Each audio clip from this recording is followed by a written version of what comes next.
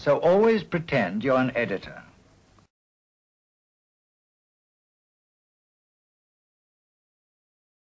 So um, it's, it's interesting that you bring that up because we um, have been working with, with uh, um, have been working on some of the ACA stuff and we've done some, some videos lately to get the word out about signing up and stuff like that. Um, it's tough though, I think, um, um, it's tough though that when, when then uh, people start signing up and it's not working, right? I mean, we were saying like, we were doing funny videos about healthcare is great and everyone should have it, so let's go out and sign up for this thing.